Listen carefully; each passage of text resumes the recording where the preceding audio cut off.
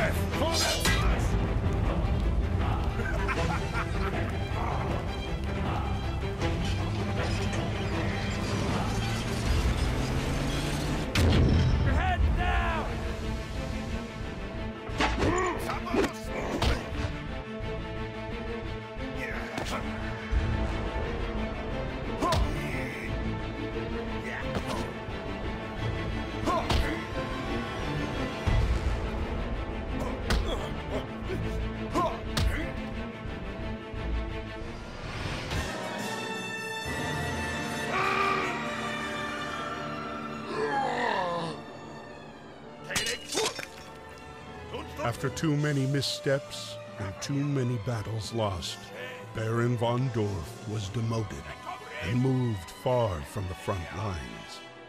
For him, a fate worse.